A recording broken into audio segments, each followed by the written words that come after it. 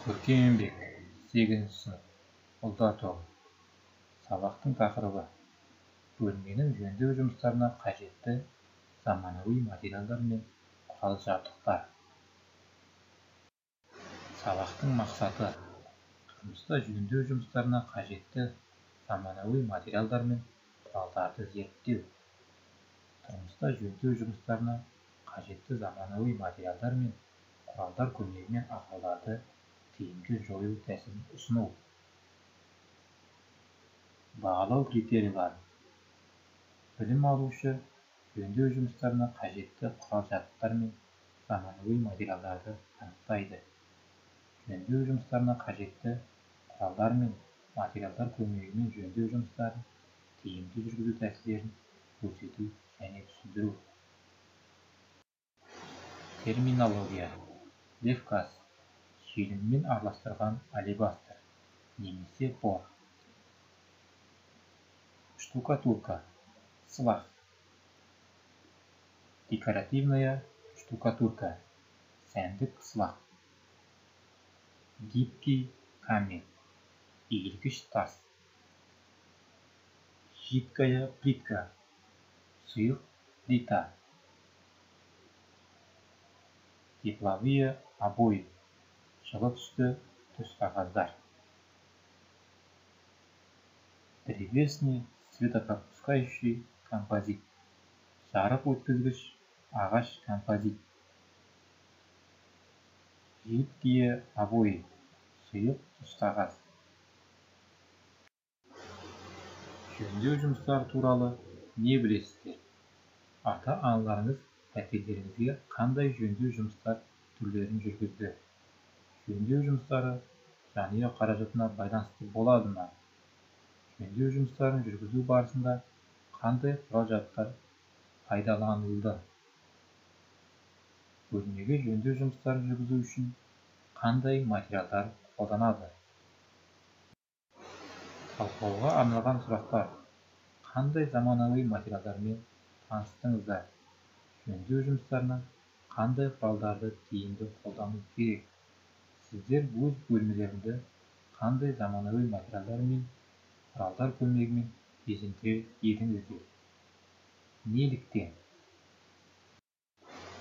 икемді тас эластикалық қалыңдығы бір жарым үш миллиметр түрлі түсті қиыршық мәрмәрден және экологиялық таза полимерден тұрады икемді тас құмдақ клинкер кірпіш қатпарлы тас және басқа ұқсас материалдарды имитациялайды алау ошақ қауыз бен сауналарды ванна бөлмелері мен ас үйлердің интерьерін безендіру үшін қолданылады бұдан басқа бұл материал қабырғаларды және қасбеттерді жабу үшін қолданылады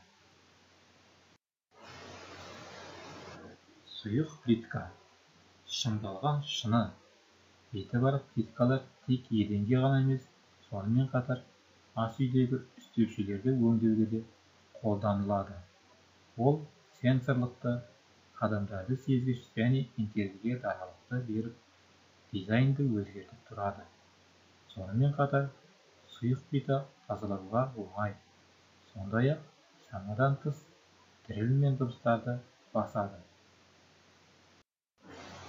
Жылы түсті түсқағаздар температураның әсерінен өз үлгілерін өзгертетін түсқағаздар гүлдену деп аталады. Олардың ішінде визуалды әсерге жауап беретін жылу бояуы бар. Алайда абсолютті минус тұрақты температуралық өзгерістерге жағдай жасаудың қиындығы. Мұндай түсқағаздарды жылытқыштардың жанына немесе жарық күн сәулесінің түсетін жерлеріне жабыстырған дұрыс. Жарық өткізгіш ағаш композит.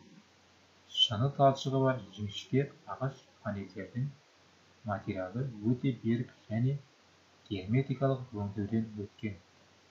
Панельдер мен ағаш түрлерінің арасындағы қашықтыққа байланысты жарық тарату дәрежесі өзгереді. Сұйық түсқағаз табиғи целлюлоза немесе мақта талшықтарына негізделген экологиялық таза материал мұндай түсқағаздармен сіз қабырғадағы саңырауқұлақ немесе көгілудің пайда болуына жол бермейсіз кез келген аймақ зақымдалған болса қабырғаның бүкіл бетін жөндеу жүргізбей ақ қажетті бетін ғана орындауға болады ең бастысы бұл түсқағаздар жөндеу жүргізетін алаңдарды мұқият дайындауды талап етпейді. Керісінше олар қабырғадағы ақауларды жасырады. Тапсырма. Пәтердегі жөндеу жұмыстарының алгоритм жоспар арқылы орындалуын талқылаңыздар. Жөндеу жұмыстарын неден бастаймыз?